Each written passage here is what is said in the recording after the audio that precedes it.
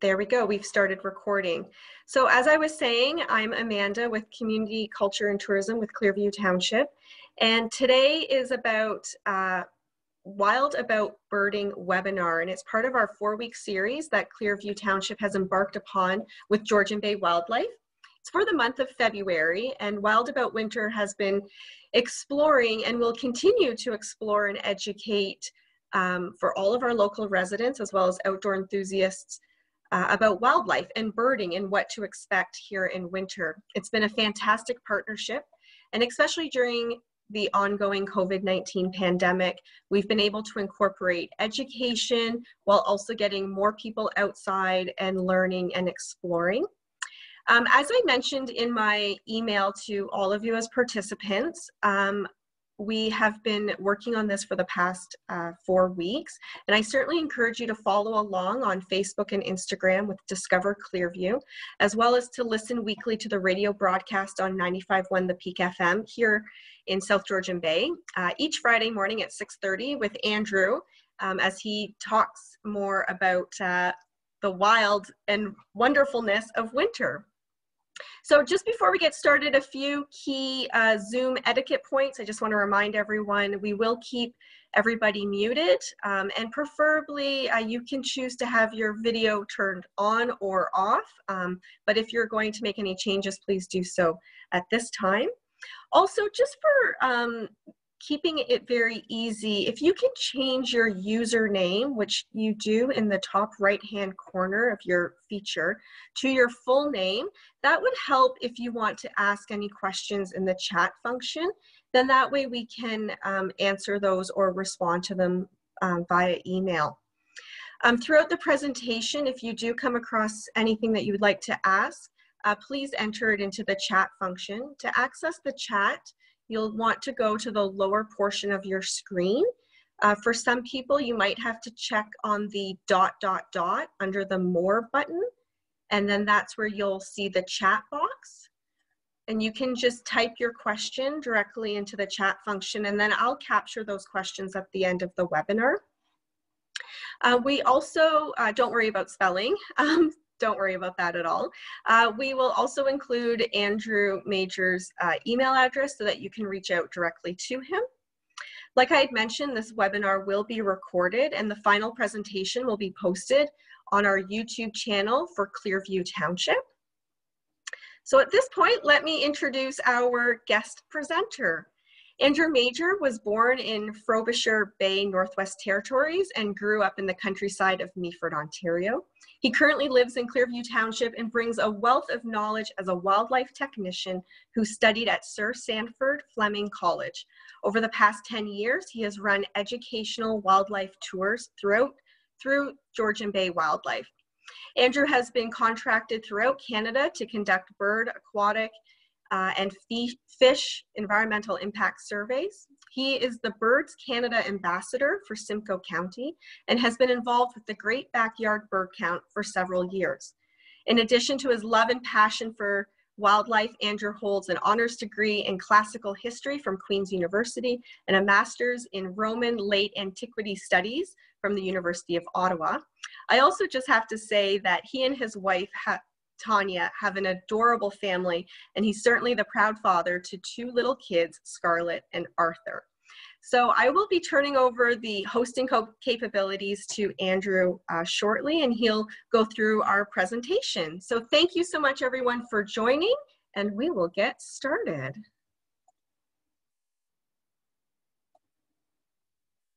There we go. So go ahead, Andrew. You should be Okay, can you hear me? live. Thumbs up. Perfect.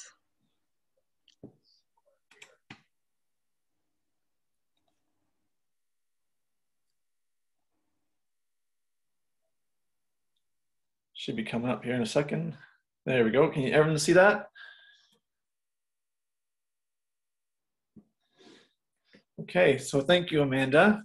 My name is Andrew Major, and thank you for everyone for joining us today and uh, being excited for birds. Um, this presentation is about IDing birds and, and increasing your wealth of knowledge on birding, and it's also we brought this forward because this weekend is a very special weekend. It's the Great Backyard Bird Count. And this little bird here that you can see, if I'll give you a high five if you can tell me what bird that is, and another high five if you can tell me what song it is. It sings. And it's ubiquitous with Canada as a hint. Okay. So just a little agenda here. We'll do a little intro into the backyard uh, bird count, in, um, in case you don't know what it is. Um, Amanda was kind enough to do a bio on myself. Um, if there's anything there, I'll just touch up quick. Then I'll talk quickly about the basics of identification to help um, guide your identification skills. And then we'll jump into the sections.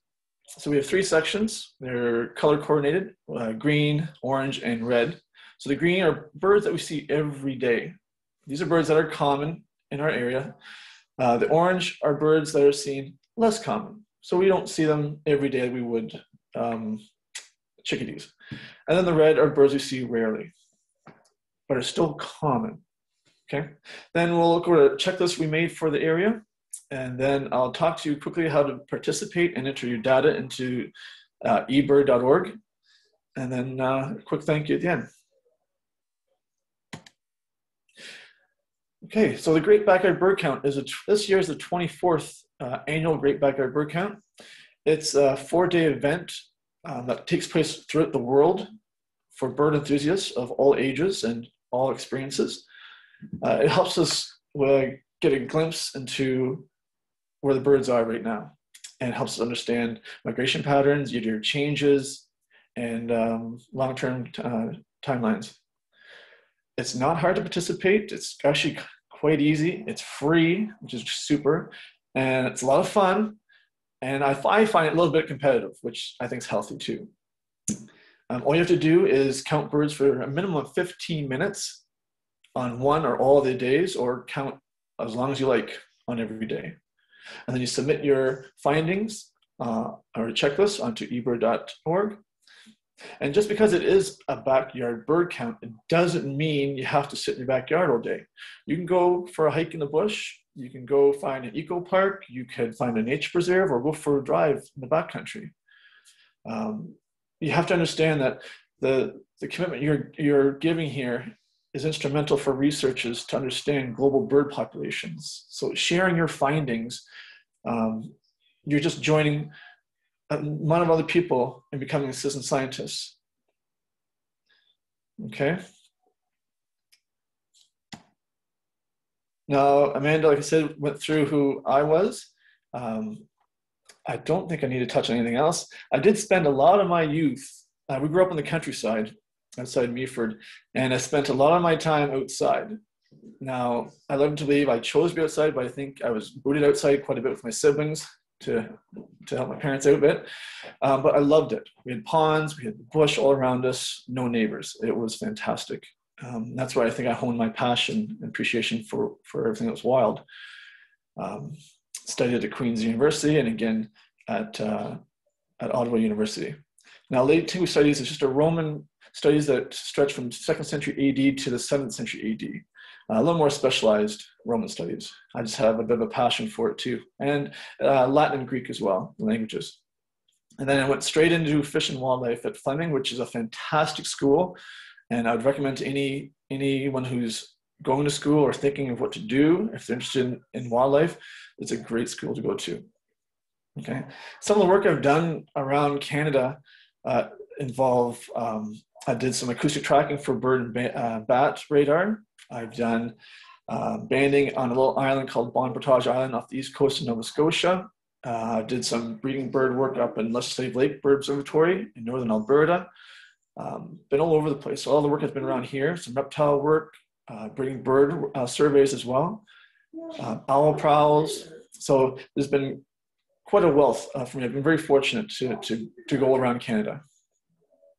Um, and yes, I am very happily married and I have two wonderful children that definitely keep me busy. It's very excited to be here though. Okay, now we're just going to talk about the basic identification features. So these four, these four features, I think they're important for everyone to keep at the front of their head whenever they're looking at a bird you want to remember these and if you have two birds that are alike but there is a, no, they're not the same bird. These will help you um, identify each one. So we'll do size and shape. So if you look at this bird here, the sharp shin hawk, that's actually my hand right there. We missed this guy out in uh, Bon Portage um, in the fall. He was migrating. So this shape, small head on the sharp shin hawk, okay? Shape, streamline. These guys are meant to fly. Color pattern, very streaky breast, you'll see here, okay? Behavior, um, agile, direct flight. It does a bit of a, a flap glide pattern. It also flies beneath the canopy and surprises songbirds. Okay, and habitat, wooded areas, and also outside of fields, you'll see it going high in fields and back underneath into the bush again. And you may see sharp shins in town from time to time. Not as much as you would see a Cooper's hawk. Okay. So going forward, so we're going to dig right in. We'll start with the green, the birds we see every day. Um, we're going to talk about a pair of birds that I haven't spoken to a single person who can hardly tell them apart. Um, let's dig right in. American crow and the common raven. Now, ravens are fairly new to our area, not just yesterday, but a few years. I was 26 before I saw a raven in our area. Um, crows have been here forever. Okay, so let's start with the crow. Large head, bill, broad wings. Okay, raven, heavy bill. If you see this bird sitting on a on a bale of hay, heavy, heavy bill compared to a crow, and much more lankier in its body, and its wings are much longer. Okay, both are black plumage. That's why it makes them difficult to tell them apart. You want to talk about their refer to their song. The crow is that ka ka ka, which you all know, we all heard. Now you compare that to the raven, it does all the croaking that croaking. You'll hear it croaking. Sometimes it'll do a little this metallic popping. I've heard it once, and it's just magical. Crows typically will fly in a straight pattern, uh, almost like, and the wings, the wing movements almost like a like there are uh, like they're rowing almost. Now, if you see a bird up high and, and it's doing barrel rolls, that's probably a raven.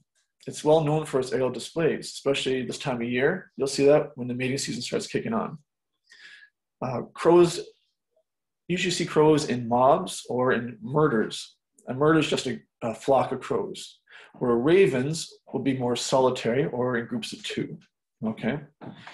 Um, one key feature I would really focus on is I use crows as a means to find finding uh, raptors like hawks and owls.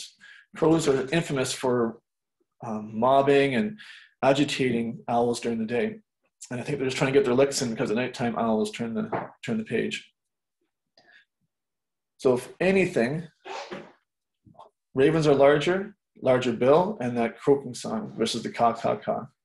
And use use crows to find owls and hawks. Okay, we'll move along. Ah, some of my favorites here. So this is the diminutive but aggressive black-capped chickadee. These guys are one of our feeder's most popular birds. Um, you can see the chickadee, black cap, black throat, very distinctive. Uh, the boreal chickadee is a cousin of his. We don't have that down here. It's more in the boreal forest and out west. Um, but chickadees are extremely vigilant. They hang out in groups called banditries. Um, if you watch, watch them at the bird feeder, they are quick, agile, and always on the watch. Okay. Habitat, wooded areas. Chickadees are pretty much anywhere. Now you have dark-eyed junco it's from a sparrow family, so it's sparrow-sized. Uh, as you see, it's slate colored at the top and snowy colored on the bottom. Juncos have been referred to as the snowbird, which is funny because we do have snow buntings in Canada, but juncos are considered snowbirds because they tend to arrive with the with the first snow of the year. Okay, they do breed up north and then move down down south. Uh, a key ID feature for juncos if you see the bird take off from the ground, because it feeds dominantly on the ground, look at the tail and look at the side of the tail. On each side of the tail, there'll be two white feathers. That is a distinct feature, ID feature of juncos. And of course, they are a common feeder um, and woodland bird. Now, a couple cool facts about chickadees. Um, in order to stay warm in winter, they do fill up on a lot of bird seed. So having a lot of um, uh, sunflowers high in oil is good for them. But what they do, they'll fluff up their feathers and bring air in, and then and that air, cool air will warm up and help insulate the whole body. So they look kind of puffy, cute and puffy. On the other side of it, juncos put on 30% more feathers in the wintertime. So they look kind of beefier in the winter versus the summertime. So they both stay warm. Juncos, since they have the most feathers, they can just hang out in the bush at nighttime. Chickadees have been known to, to dive bomb into a little cavity in a tree and just hang out there for the night to the point where sometimes their tail feathers are bent when they come out. Okay. Uh, one thing about the chickadee too, I want to point out uh, the song. It's that song is actually considered onomatopoeia, and all that means is that the song is the same as the name. So chickadee, chickadee, right? The phoebe is a high, high pitch little um, whistle almost. Phoebe, Phoebe. But the chickadee is onomatopoeia, kind of like a whippoorwill, whippoorwill, or a killdeer. And one cool fact about the chickadee DD is the D's themselves. The more D's you hear, the more agitated that bird is. So if you're out there uh, feeding it or filling up the feeders, check out how many D's you get. If you're brand new to the yard, they're going to give you a few D's. If you've been there for a while and feeding them, they, they know you, they're accustomed to you, you might get one or two, if at all. Now, if a red-tailed hawk sat down next to them, they're probably going to do what seven, eight DDDs they know that hawk's a threat, kind of, but they're still too small to, for them to catch it. If a saw-whet owl or a sharp-shinned hawk happened to sit down in that tree, you're going to hear about 15 to 20 DDDDs. They are extremely agitated and all worked up. They go bananas. So chickadee DD, definitive of the chickadee. Okay.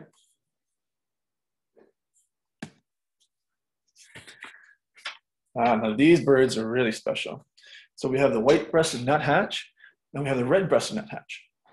These two, their territories overlap. They're, they're very similar in size. The white-breasted nuthatch is a little bigger than the red-breasted.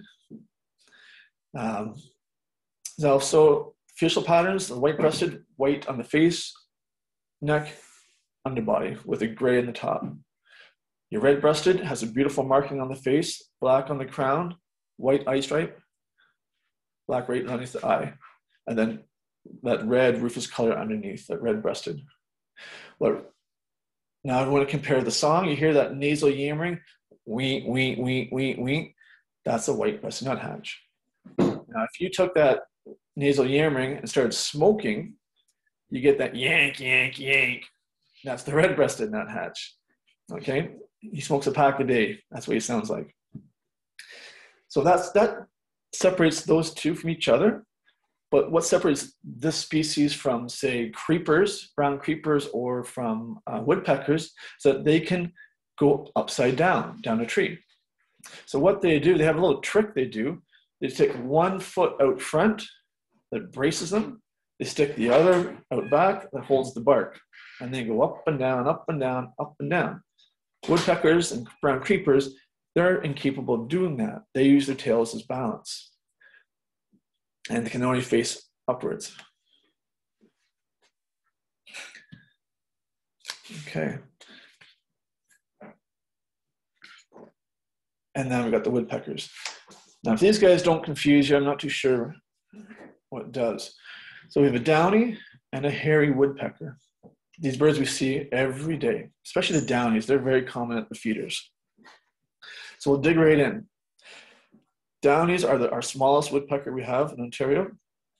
And compared to the hairy, which is almost twice the size of a downy. You'll see the red little dots in the back of their heads. Those indicate males. The females are just absent the red dot, but they all look the same. So downies are smaller, hairs are twice the size.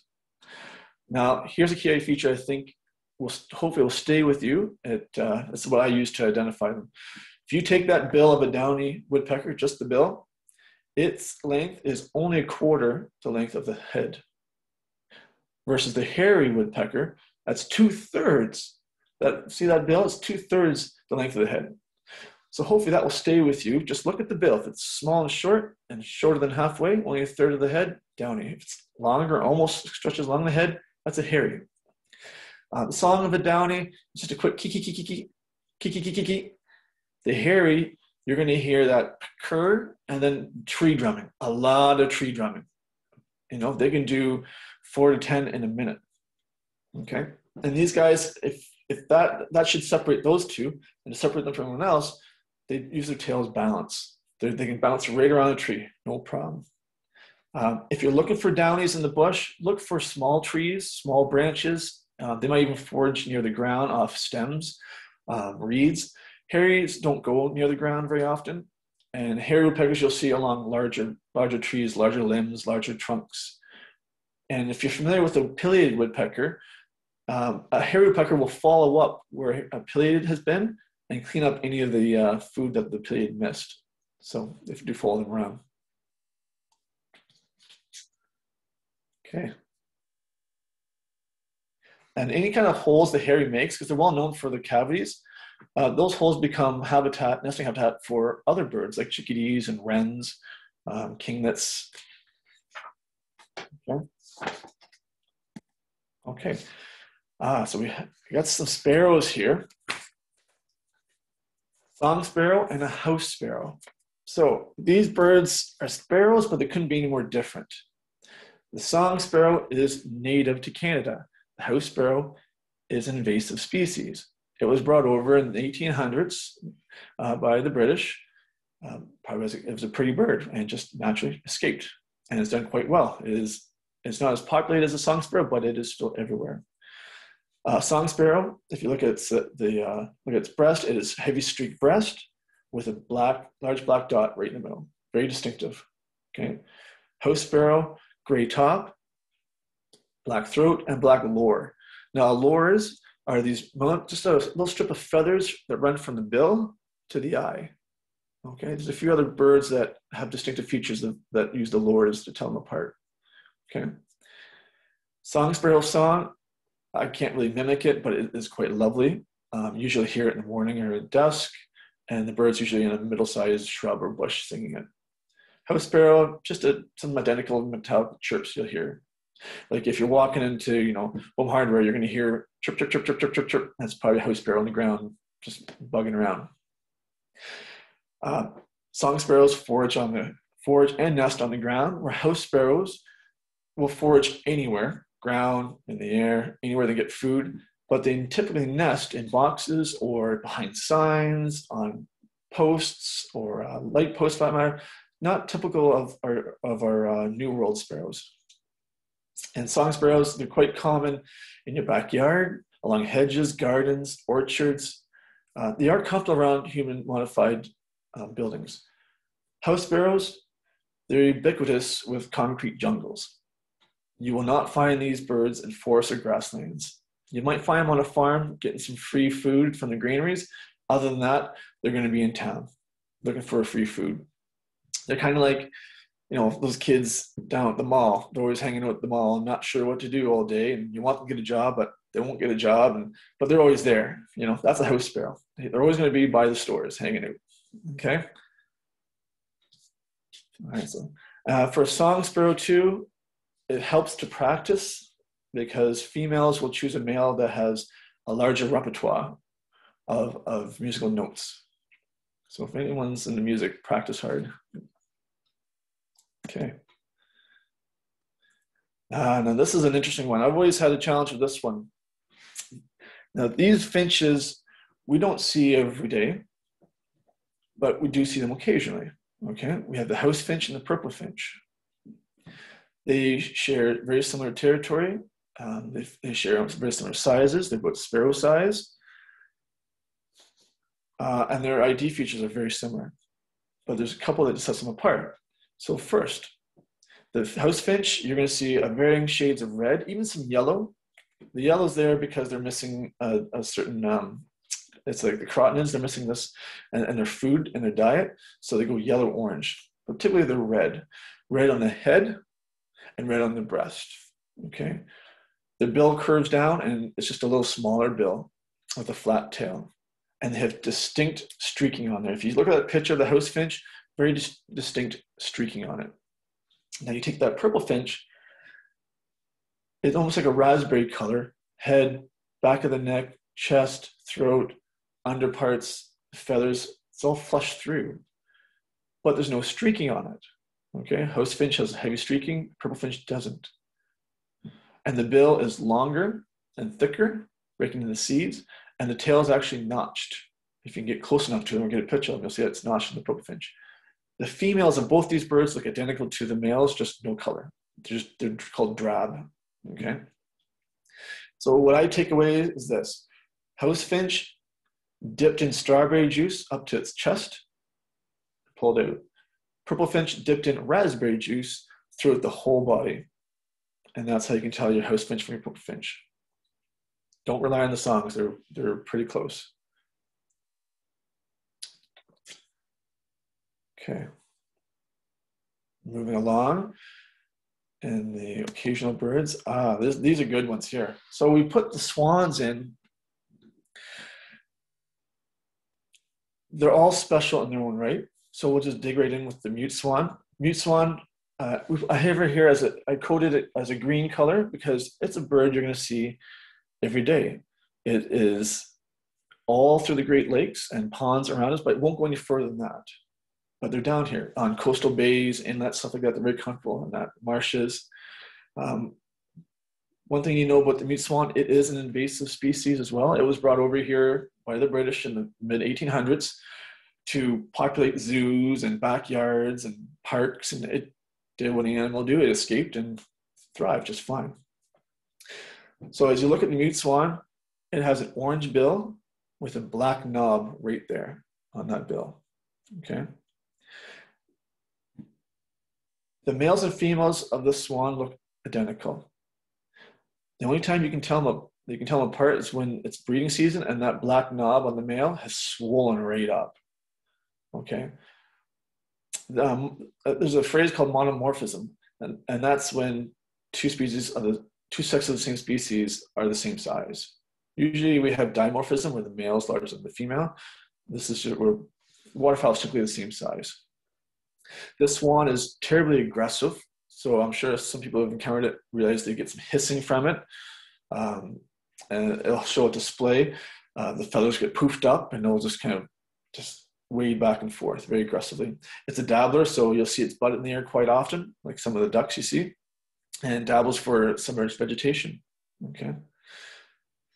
Uh, the mute swan too. It it uh, something about invasive species, I don't know, but it enjoys being around common reeds. So if anyone knows what Phragmites is, it's an invasive species that likes to, that thrives in disturbed areas. And not just that, it thrives in shorelines, ponds, any, really anywhere. It's very aggressive. And it's proven that this, these swans will nest in a patch of this because it's it can uh, build a nest with the reeds, which are terribly strong and durable, but it can be far enough from the shore where um, the eggs are, are safe from predation. The trumpeter is a very special swan. Um, so trumpeter is actually our largest swan. It is a native swan to Canada, and it's just a bit larger than the mute. Mutes are very large. They're about 22 pounds, where this swan's about 23, 23 and a bit, maybe a bit more. Um, what you want to do is, since they're both white and large, look at the beaks. You got for the trumpeter, it's a long neck that ends with a very long black sleek bill. Okay. Um, trumpeters will grunt and hiss a bit. Sorry, the mutes will grunt and hiss. The trumpeters will trumpet. It's this kind of nasal honking, like a trumpet, very softly. And if you see this bird trying to get off off the shoreline, it needs up to 100 yards of space, of open water just to get off. Okay, so you'll see that quite often for trumpeter swans. Um, just like mute swans, uh, these birds pair up for life.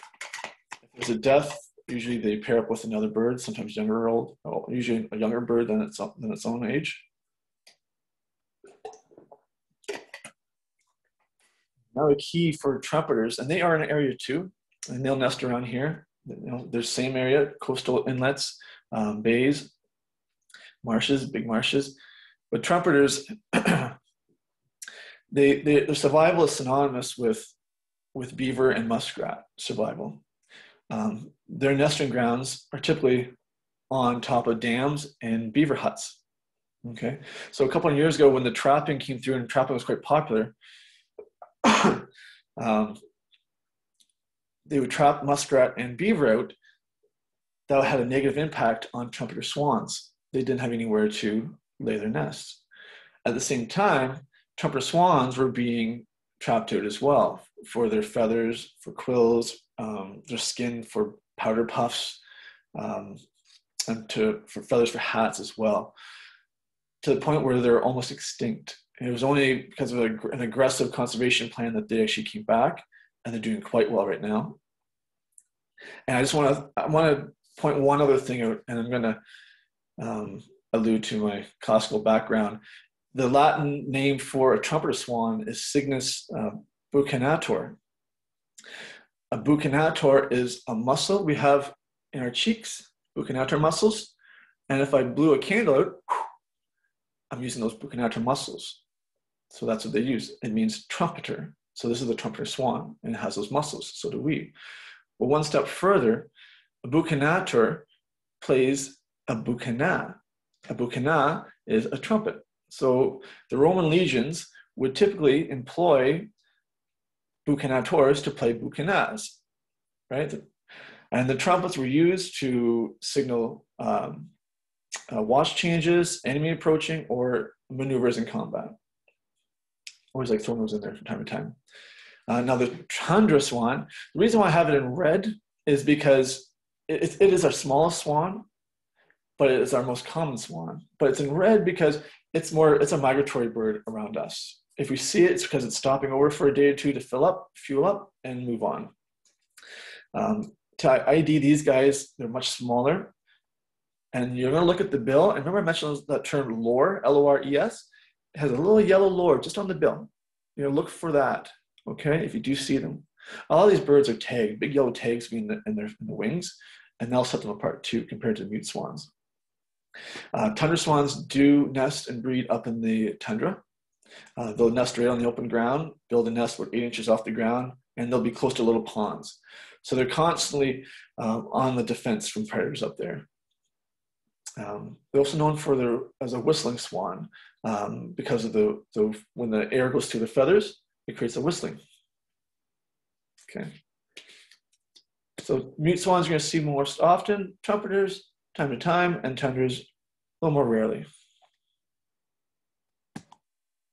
Okay, these are exciting little birds. Actually, I saw 75 of these birds today. I was out birding. Um, they're just lovely. Uh, so we have the cedar waxwing and the Bohemian waxwing. So kick it off right now. The cedar waxwing is native to our area. Bohemian typically only see in the wintertime in our area. Okay, typically. They're more of a western bird and then up, the, up north. Um, basic how I tell these guys work because if you look at them, they look identical. They have the brown crest, brown plumage. Um, they have that we call that waxy uh, colors at the end of the tips of the wings and their and their tail feathers there. Overall, Bohemian's a little larger, but not by much. You couldn't really tell the difference side by side too much. The, how I do it, you want to look at what we call it's a vent or the undertail coverts. So it's anything, just look at the tail and go right underneath it. On a cedar waxwing, it's all white. On a bohemian, it's this rufous brown color. And that's how you really tell them apart. Okay. These guys have very similar um, songs. It's like a, a very high pitched sri, very short. And you'll and you see you have I had 75 and it's just all day long, three, three, three, three, three. We call them earfuls. If you get a flock of cedar waxwings, they're called earfuls because you get an earful when they're singing. Um, they both eat berries. Um, the ones today I saw were eating juniper berries, the little blueberries on a juniper tree, and just having a feast. Two good, two cool facts about these guys though. Um, they do eat a lot of berries. Sometimes the fruit they eat is overripe, and they might get a little intoxicated. You might see them falling down, flipping around sometimes. Um, but these guys eat fruit all year round. And if anyone's familiar with a cow, uh, brown-headed cowbird, um, they are parasitic birds, whereas they lay eggs in other nests of other birds. They'll lay one egg. They've been proven they don't succeed well in the nests of cedar waxwings. The chicks can't survive off fruit the way chick cedar waxwings can. So very cool facts about them. Remember, look at the vents just under the tail, wait for the cedar waxwing, rufous for the Bohemian. Ah, okay. Actually, I had I saw a Cooper's hawk today too, and it had a uh, had a kill. and I got some nice pictures of it. Um, these birds are extremely special birds. Um, very hard to find. I lucked out today. It just it was just the right time, right place. That's all it was. Um, so we'll dig in with the sharp shin. These birds, they look. Let's look at them. Look identical. They look identical, but the sharp shins are small as a accipiter, and an accipiter is just a hawk. Um, they're not that big. I've held them before. They're about robin size, maybe a bit bigger, between a robin and a crow. Whereas the Cooper is going to be just between a crow and maybe uh, a larger hawk, like a red tail hawk. The uh, sharp shin hawk have a longer, have a long tail, shorter wings, long skinny legs. If you see it on a post, look for long skinny legs versus the legs that are more a little more stubby on a Cooper's hawk. Um, sharp shin, the head on a Sharpshin is small, very small and rounded, uh, versus a Cooper's hawk that might have a larger head that sometimes will look kind of flat um, which hopefully will give it away sometimes. Their songs hard to tell. They're you know that, that key key key. It's hard to. I, I don't play songs at all with these guys because they're hard to tell. Um, but what I look for is their flap and glide styles. The sharp shin will do really deep, deep, deep flaps and glide, especially in open air, deep, deep, deep and glide. Whereas the Cooper, it's very stiff beats. It'll glide as well, but you see more stiff beats and then glide. It's a larger bird, okay? Uh, both birds are quite comfortable in the bush. Sharpshins will be lower under the canopy whenever they're maneuvering through the trees and looking for prey. Coopers will go through the canopy.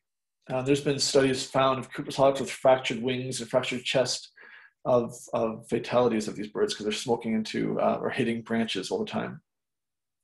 Um, they both eat very similar foods, songbirds. Cooper's will go a little larger. Um, Cooper's hawk has been known to be more common in town. And my wife and I are once sitting in our in our in our living room having a drink, just talking business, and the doves are eating a snack outside, and all of a sudden, bam, bam, bam, on the window it was two doves and a Cooper's hawk, and he nailed one of them and took it across the road and finished it off. Um, and you can see the picture right here, the size difference too. Coopers are much bigger, much more aggressive, but doesn't take away the aggression of the sharpshin as well. So size does make a difference for these guys. Okay, Sharpshins are much smaller than the Coopers. Okay. Okay, red tail hawk. This is one of my favorite birds. Um, key ID right off the hop, red tail hawk, red tail. You see that right there. That's a picture we took. Um, so there's about two or three of them there, and they were eating roadkill. It was a raccoon. This was a few years ago. Uh, that was new to me. I Never saw a hawk eat roadkill, but it's first time for everything. Um, so look for that red tail. If the hawk is soaring like you see in the other picture, you don't see a red tail. Not there. what you're going to see, you're going to look for the belly right in the middle, and you'll see what it's called a belly band. It's heavily streaked. And if this bird is sitting on a telephone pole, you're going to see the same thing. It'd be all white belly with a heavily streaked right down, right in the middle. And that's definitive of red tail hawk. Okay. Um, the other definitive uh, definition of red tail hawk is that screaming screech. Like this, this song is definitive of a bird of prey. That it's like really strong, piercing screeching. Um, if you ever watch a movie and you see a bald eagle soaring through the sky through a bunch of mountains, and all of a sudden you'll hear the that's not that's not even the same. Actually, the the sound of an eagle is not even impressive, half as impressive as that of a red-tailed hawk. Okay, so that screech, you hear that screech, one of a kind. Uh, red tails are perch hunters and they're hover hunters. Another word for that is called kiting. Just like you fly a kite, when the kite just hovers there in the wind, red-tailed hawks are the same. They'll sit there and just flap, and then they'll swoop down. Northern harriers, um, that's one of their favorite ways to hunt. Same with kestrels, American kestrels, they hunt that way, so kiting. Um, and if you're going to look for these hawks and, and, watch for them while you're out for a drive or for a walk, you spot them while they're perched, while they're soaring, and while they're kettling. And kettling means when hawks, and all hawks do this, but red tails are, are well known for it, that's when they start circling. They've caught a draft, a warm draft, and they're circling up, up, up, and then they're gone.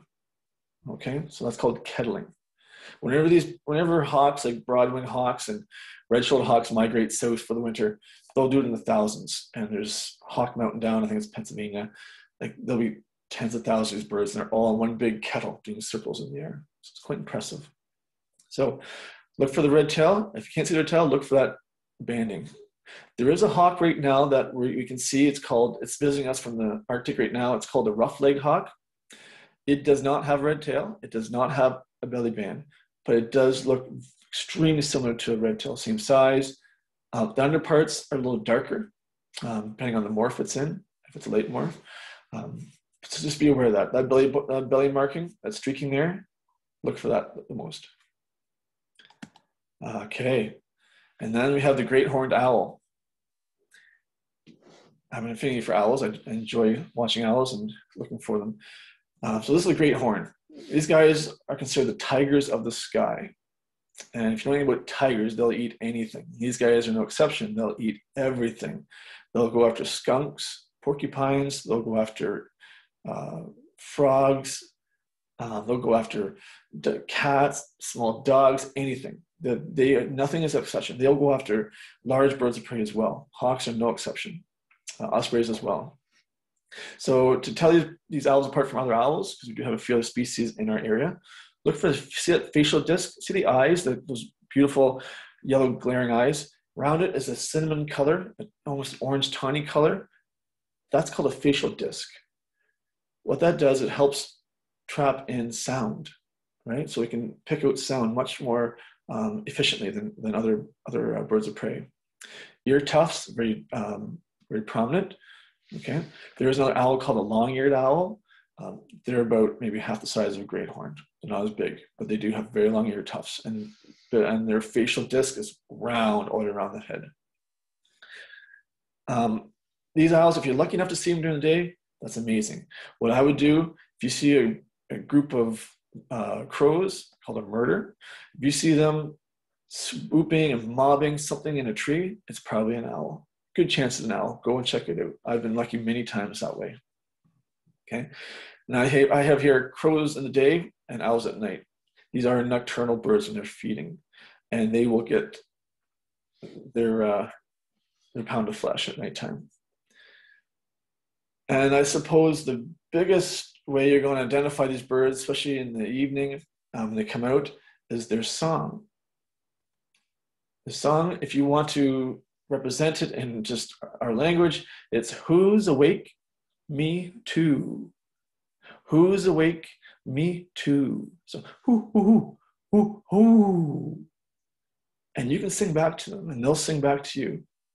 My daughter and I um, did it when we were, our family went for a hike uh, a few weeks ago. It was raining on dusk. We were coming back to the car and there was great horn owl and, and we were calling him and he was calling back. So they, uh, they are very territorial, so that's why they will call back if you want to try it. Um, these owls are extremely strong. They have 28 pounds of claw pressure, so they can sever spines of the prey quite easily. Um, and those eyes you see right there, they're transfixed, transfixed into their skull. They don't move them around like we can do. Um, so they have to literally move their head like a turret up to 180 degrees around. Okay. Okay, so that that's those are our birds. Um, I hope some of that information resonates with you and you're able to use it uh, this weekend and, and forthwith. Uh, so now we'll jump into how to participate and enter your data into uh, ebird.org or birdcount.org. So ebird.org, you type it in, you bring it up, it asks you to create an account. That's what you want to do, right? So you want to create an account. It's easy, it's free. All it does is send you an email, you activate it, and then you fill in your name, last name, and we go. If you don't want to put your address, don't bother putting your address down. It's not a problem. Okay. And then all of a sudden you'll see uh, you'll see a menu, and then you can click that menu. And what you want to do is look for explore regions. Remember this, please. Explore regions. Uh, the regions and during the uh, Great Backyard Bird Count, you're either in a big city like Toronto or you're in counties like Simcoe. We are all in Simcoe, Simcoe, Simcoe County. So if you type it in, you'll see me in there, Andrew Major, competing, blah, blah, blah, blah. Or you'll see your friend or your family member in there too, under Simcoe. So you want to type in Simcoe and it'll come up Simcoe, Ontario, Canada in the Explore regions. And just refer that to every time. And once you're in there, you want to do a location on your map. Not that hard, just got to type in where you were, whether it's your home, enter, and then you can put it on the map. Just put a little pin on the map and just put it's your home. Once you do that, it'll ask you some questions about were you driving, how were you, or were you stationary, or was it incidental? Easy, just click what you're doing and how long you did it for. Remember, you need minimum of 15 minutes to do it, and and then ask, then you just plug away a few questions there, and then you got your list, your bird list. Your bird list is going to be taxonomical. Um, you might have that feature to create in alphabetical order if that's easier for you. Um, but just be prepared. That's what it is. It's taxonomical. And so you put, say you found some snowy owls, you found two snowy owls, you can add details, say one was a male, one was a female, and you add a picture because pictures are fantastic. Throw some pictures in there, you go submit, it'll say, are you sure? You say yes, and you made your first submission. It's really not hard. And once you get the hang of it, it's really easy. Now that's if you want to use ebird.org. That's if you want to come home on your computer, you can do it. What you can do is you can download free apps called uh, Merlin and eBird. Merlin's great because you can ask questions, uh, or it'll ask you questions, you fill in answers, and it will tell you what bird they think you saw.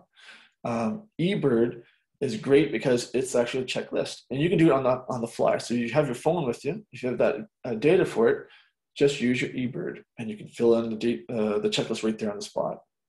Okay, and it will geolocate you right there. Um, really easy to do. And then you can you can compare with your friends and, and you can see where other people are birding and and say, oh, I gotta go there. Maybe I'll see that owl and oh, I'll see I'll see those snow bunting over there. You know, it's it's a fantastic feature. And once you just get a little warmed up to it, easy, a lot of fun and you can and you can do this all year round. You can go to this form and submit all year round not just for these four days just you can do it all the time okay? Uh, so here's our here's our common birds of simcoe county checklist that we made up.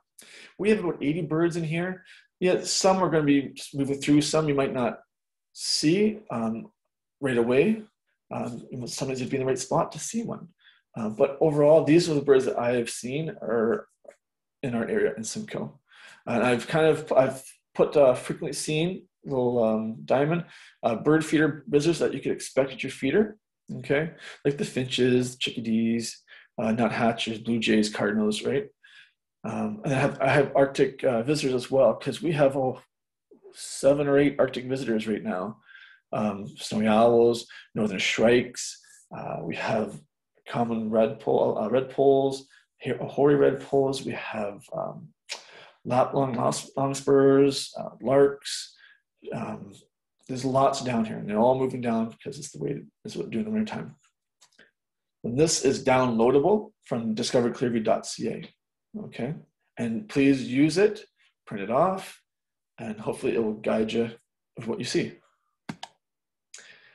And I want to say a big thank you to everyone that has partaken in this and spent some of your time with us here and hopefully you can take away some some tidbits and some information, some ID factors and ID keys to help you ID those tricky birds out there. Um, I want to thank Amanda and Clearview uh, for teaming up with us, um, Echo and the Peak FM 95 one the Peak. And I want to really thank my wife Tanya. She has been incredibly supportive and helped do this from the start. Okay, thank you. And um, right now I'm going to put the host back to Amanda. One sec here.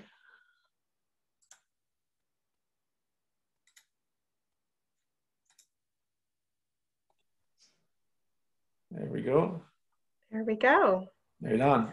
Well, thank you so much, Andrew, uh, for this informative webinar on bird identification and to prepare us for the Great Backyard Bird Count this weekend. I just want to let everybody know on the webinar that we had 35 people participating from all across Clearview Township as well as Simcoe County, across Ontario, and we even had a few people register from up north and even as far away as Calgary. So a huge um, attraction when it comes to bird watching and bird identification. I also just have to say, what a great show of citizen engagement. And it just demonstrates how much interest there is in creating um, education pieces to support our environment and to really demonstrate what is available out there literally in our own backyards, which is fantastic. I learned a couple things too. You know, I didn't know the difference in uh, bill sizes between downy and hairy woodpeckers. I had a chance to see them uh, yesterday afternoon um, out at your place, so that was really fa fascinating. And um, just also, you know, how um, strong our environment it is in Simcoe County, being able to see all of those common birds as well as a few of the rare ones that you mentioned. Like what a great opportunity it will be this weekend. So um, like I had said, there were a few questions in the uh, chat feature. So thank you for people um, for participating. Uh, Cassandra asks, uh, you said the juncos put on more feathers in the winter. So when do they shed those feathers? Is there a particular time of year or a temperature? I wouldn't say, well, I, I'd say they're all based on when they start migrating back north again because they migrate down. Young males will stay up north, and more females and older males will come down and they'll put it on for the winter, those extra feathers. When they're getting the breeding mode, all they want to do is breed, sing and breed. So they have no time for feathers. That's where you're probably going to drop the feathers right on then. And they're migrating back up north. So they're going to probably drop them. Less feathers, less, less weight to be carrying when they're flying up north. So springtime. Okay.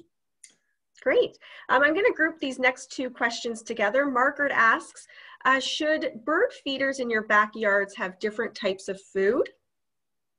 I think they should, absolutely.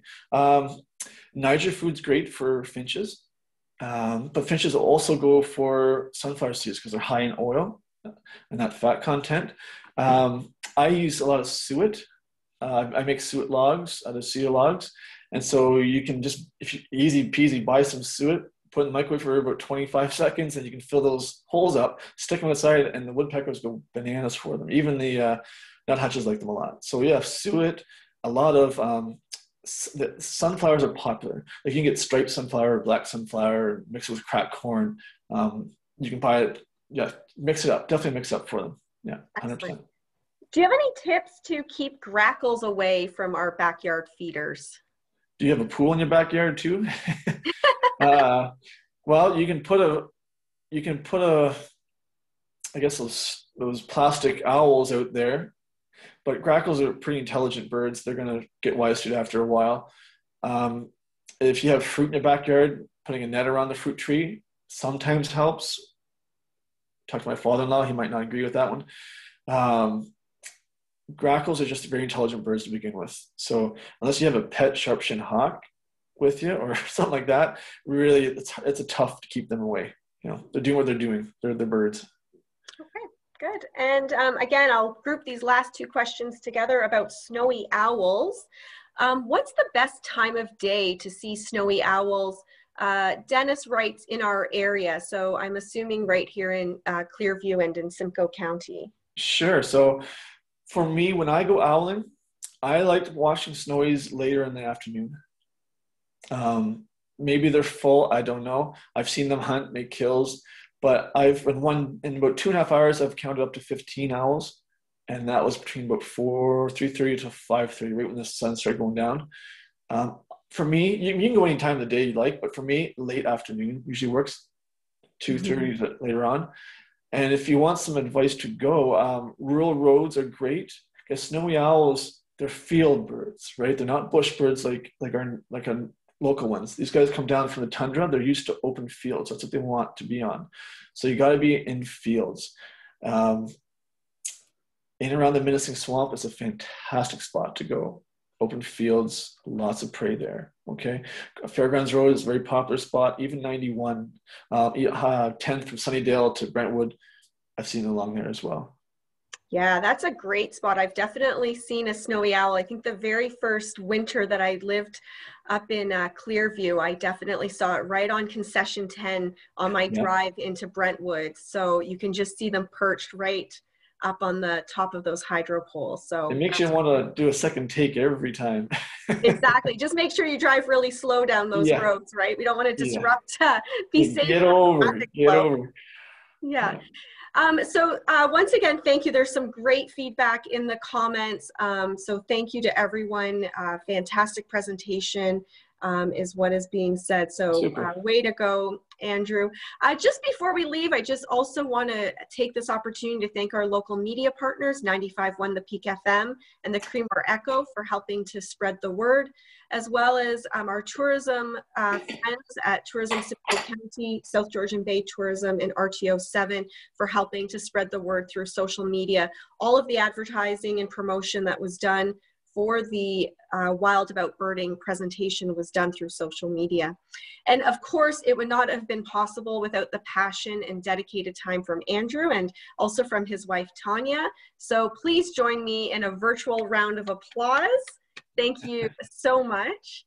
Uh, once again, tonight you will be getting a wrap-up email, so look for that in your inbox from myself.